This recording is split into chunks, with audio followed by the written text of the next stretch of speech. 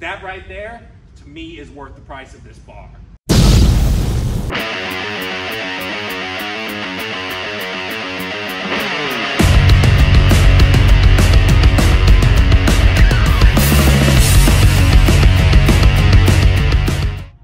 Good morning, this is Cameron with the Atlas Strength Shop, and today we're going to go over the Kabuki Transformer Bar. Recently, I was able to score a used Gen 1 Transformer Bar from Kabuki Strength. I've always wanted one of these ever since they first dropped, and let me just say, this bar is awesome. But when I got home and I was trying to figure out how to use it and how to set everything up, everything that I found was for the Gen 2 and on. So today, what we're gonna do is we're going to go over how to actually change the settings on this thing, and we're going to set up some of the more popular configurations so you can see the difference and what those are gonna look like in your training. Let's get started with the video. So this is the Kabuki Strength Transformer Bar. Now I'm not gonna lie, upon first inspection when I got this thing, I honestly wasn't impressed. It was a lot less beefy than I was expecting it to be. This is a 45 pound barbell and I'm switching from using a Elite FTS SSB or the SS yoke bar, which is 65 pounds, to this. When I got to the guy's house that I bought it from, I was expecting it to be as beefy or more beefy than the Elite FTS version, but it just simply isn't. That being said, those were only my first impressions. Once I got this thing home and I started playing with it, my opinion changed dramatically. It's very, very overbuilt, which is characteristic from anything from Kabuki Strength. Everything is perfectly machined, and this thing's a tank. So now let's get into how to actually change it. On the newer versions, if I'm understanding it right from their uh, from their marketing material, to change this, it's all springs. So you push it in or pull it out, you pop something, and you're you're able to you're able to switch it around when the bar is even fully loaded. That's not the case for the Gen 1. The Gen 1 did have to be empty in order for you to change the way it is loaded. But that being said, I don't understand why people would be changing it mid-set anyway. It doesn't make sense to me. Just set it up right, do your sets, move on for the day. So what's cool about this bar? What's cool about this bar is you can actually change where the center of gravity is going to be placed. And you do that two ways. This is a pivot point right here. So the, the uh, bracket that comes off this way will go 180 degrees all around the center axis. And the actual barbell sleeve, you can move between four different points along that axis. So anywhere within that circle about that big, you can center your plates and change the movement draw drastically. So how do you go ahead and change it? Well, the first thing you do is you're gonna unscrew this and put your hand out because I did learn that these will bounce across the gym and it'll take forever to find. You unscrew this, you set it somewhere where you're not gonna lose it, and then you pull this off. So a couple things to notice. Hopefully you can see this in the camera, but right here, you have numbered between one and six with little dashes in between those numbers as well. So 1, 1.5, 2, 2.5, so on and so forth. And then on the bar right here, this took me forever to see because the lighting in my house is very poor. And I, it just, it was hard for me to find. What I'm gonna wind up doing is actually marking that with a white paint pen. But there's a little bitty dot that's hammered into the steel right here. That's what you line up to your actual dash. And then to switch the distance from the center point, you just twist. And then you can move this off like so. Put it back together. You slide it back in. You twist. You, pop, you find the corresponding number to where you want to set it. I'm just setting it right back where it was. And then you screw it back on. Kabuki made this handy chart, which I'm going to be putting all over this video, that has the most popular configurations already on it. And what we're gonna do is I'm gonna pull up that chart and I'm gonna go through each one. I'm gonna set them up just like that and I'll pop 155 on this bar, so a 55 on each side. And we're gonna film from 90 degrees to the side. That way you can see what the bar path is going to look like and how the torso, the knee angle, and just all those different variables in your squat change based on those positions. That's going to be a far goblet squat, near goblet squat, a front squat, a back squat, and an SSB squat.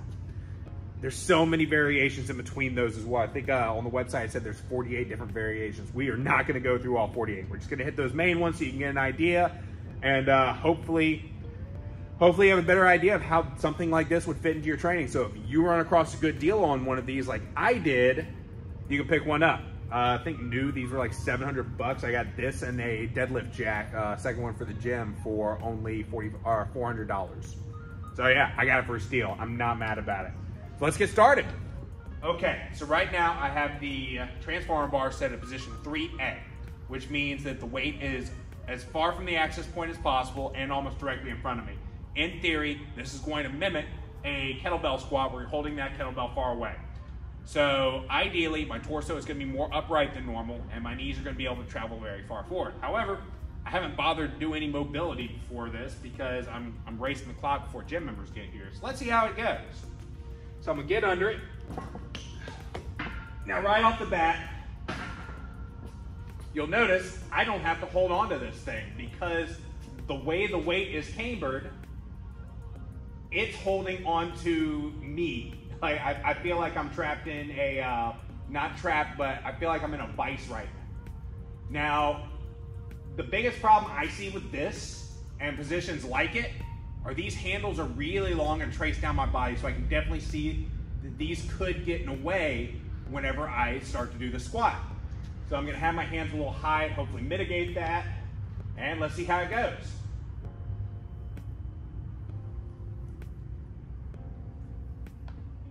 Okay, that didn't feel bad at all. Ah, I forgot how sore I was. I did squats like two days ago. Ultimate DOMs right now, but I felt very upright. It felt like the frontiest of all front squats, which is what it's going to feel like. Uh, the handles didn't really get in my way. I'll turn this way so you can see what that looks like, and I'll do another. But this doesn't feel bad. I just feel really sore right now. Let's go ahead and re-rack it. Pro tip, do these later in the day when you're actually warmed up. So now I'm going to switch it to the kettlebell near position, and we'll go from there.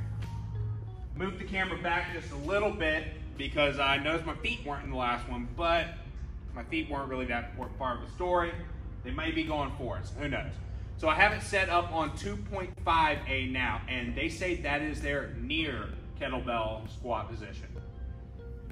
It wasn't how I expected them to change it. I figured they'd just bring it in a little bit, but hey, let's see how it feels.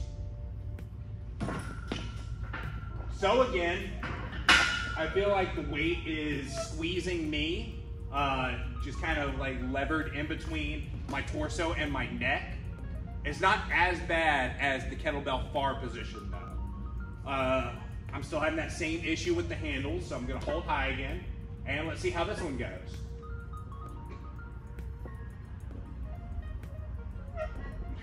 That one actually felt better. I felt a little bit more upright. We'll see how it looks in the video.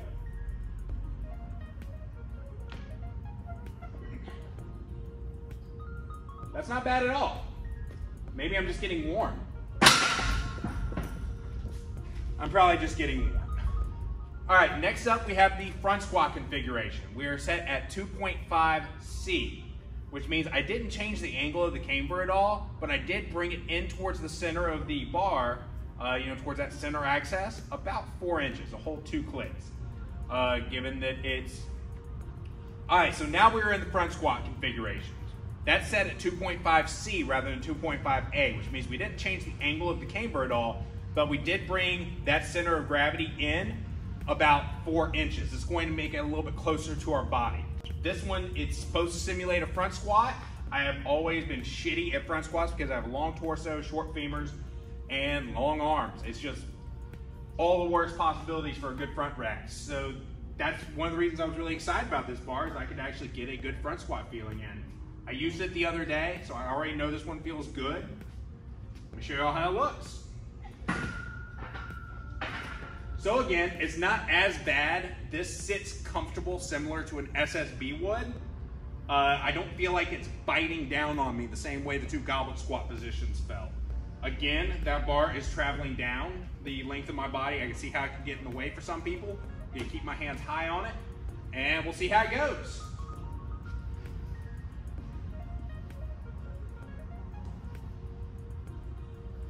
Feels just like a front squat, except I don't feel like when I get heavy, I'm just gonna dump the bar in front of me.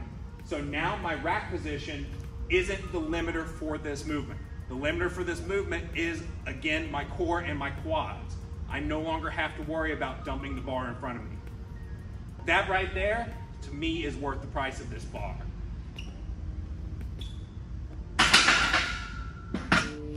And now we have it set on position 1D, which is as close to the center as we can, and the camber is a little bit back. This is going to be as close as you can get to a low bar back squat without doing a low bar back squat, which is great for me. Last time I did a barbell low bar back squat, I actually dislocated my elbow and was out of the game for like six months. So that was another reason I was really excited about this bar because I personally hate SSB squats. I love the feeling of a low bar squat. This is what I used for my primary squat just a couple of days ago, and that's why my legs are so sore today. It felt great, I had a blast. I'm gonna show y'all what that is going to look like.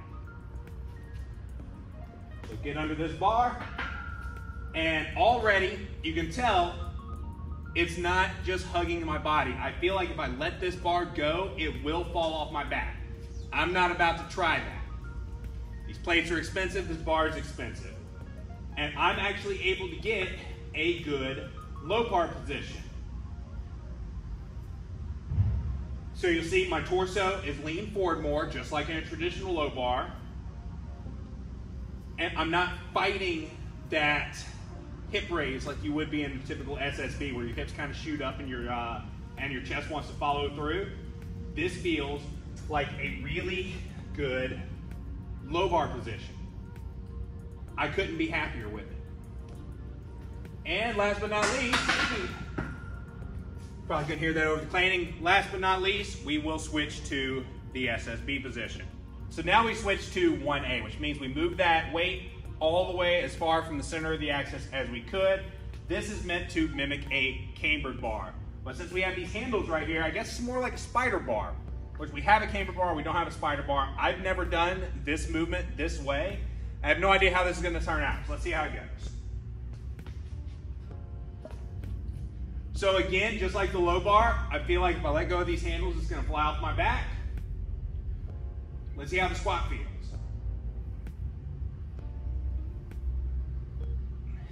So that was a very forward lean squat. Let's see if uh, changing the angle of the camber is going to adjust that. Like if I push up on these bars.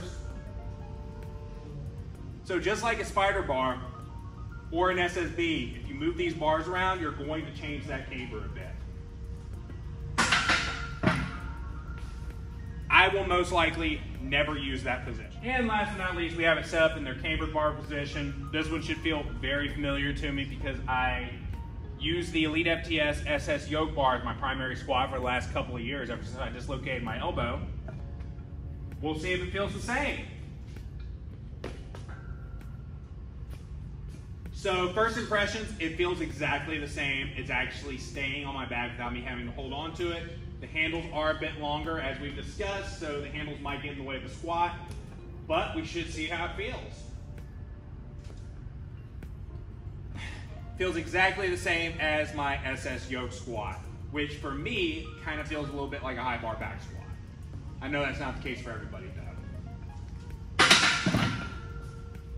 So that's it for the video. If you liked it, please, please, please like and subscribe. And what I want you to do is screenshot this share it to your Instagram stories or your TikTok. If you tag us, what I'm gonna do is I'm gonna send you a promo code that's good for 10% off any of our apparel.